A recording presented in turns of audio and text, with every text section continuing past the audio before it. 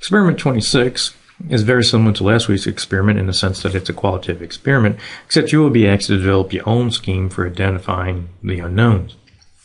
You will determine the unknowns based on observations made by mixing the unknown solutions and information that you obtain from CRC handbooks, etc., based on precipitation, the color, any gases, any odors should be forming, those type of things. Uh, you will be allowed to spot check against the knowns, but that's only spot check, one or two. You should buy from the data that you get at home. It should give you the information you need to make decisions on what, what species is in each bottle.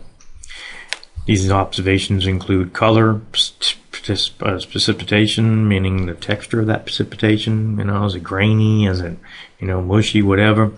Uh, how long it takes before that precipitate forms. Sometimes maybe it forms after a couple of minutes.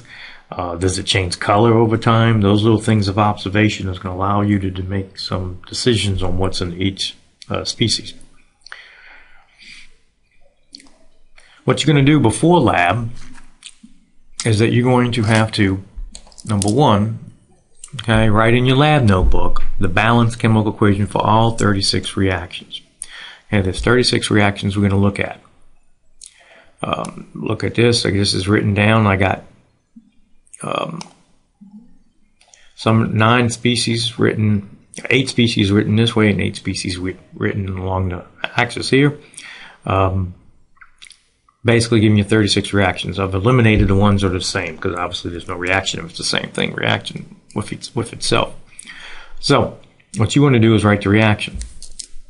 So you're looking at silver nitrate and ammonia chloride. You should write the balance reaction for that, which in this case you're looking at um, silver nitrate, which is aqueous,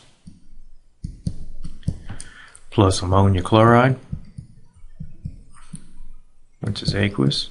And what products are going to be formed? Well, that's going to form ammonia nitrate.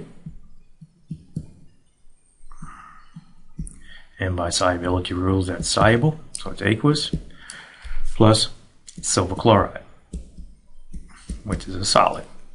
So you can see by reacting silver nitrate and ammonia chloride, I expect a precipitate uh, form, some solid being formed.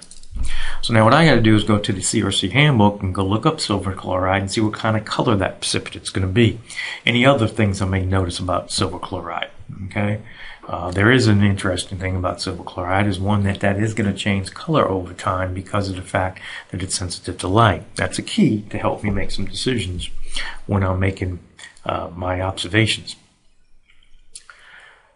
You're going to do this for every reaction. Okay, so you're going to write barium chloride and ammonia chloride, potassium chlorate and ammonia chloride, all these down here, and then down the next one. Okay, all those you're going to write those uh, balance equations. It ends up being 36 chemical equations. Some of them are going to have solids, some of them are going to have um, gases formed. You got to keep track of all that. That way, you're looking for this when you do your your actual experiment.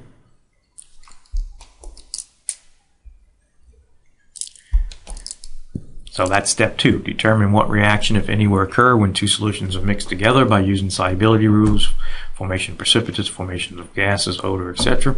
Using permanent references such as your uh, CRC or Merkin, look up the precipitates to determine the color of your precipitates. If there's any gases, you know, make sure you note that as well. Important thing to note, in many cases, there's going to be no reaction, meaning no reaction on your product side, you're going to have aqueous and aqueous. Okay, so you're starting off as aqueous and you ended up in aqueous. Therefore, there's no no uh, precipitate being formed, so we're going to say that's no reaction. And I said many of them are going to be no reaction. You're interested in the ones that have precipitates. The more you know, the easier this is going to be to determine the unknowns. Okay, so the more work you do at home, the easier it's going to be when you come to lab. You need to be organized and approach this in a very systematic way to determine which species is in what bottle. So you should come and write this table in your lab notebook, just like I got it written right here, ex- except in these little things you write in here, you know, you know what kind of precipitate. In this box right here, you write what should happen. It should be a precipitate form that's a white color, red color, whatever. It should be a gas. You fill that out, put that in your, your table. Then what we're going to do is you're going to do the unknown table in your notebook just as well, and we're going to label this 1 through 8 on your y-axis and on your x-axis 9 through 2. That way we're only doing the 32 reactions again. And then you're going to mix unknown 1 with unknown 9 and you're going to figure out what happens there. Does it form a precipitate? Okay, is it what color is precipitate? And you're going to take this data, compare that to your other data for your um your uh, that you collected before lab, and try to figure out which bottle's which. Can I give you a hint? One of these species is going to react with everything just about. Okay, well when that happens, you know it's this particular species. Okay, and go on from there. Another one may react with a couple of them and have a yellow precipitate. Okay, so you're looking for that and trying to come up with some schematic to figure out what is the final answer.